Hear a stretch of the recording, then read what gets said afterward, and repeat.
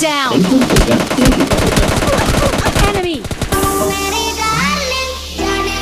अरे भाई ग्रेनेड कौन कर रहा है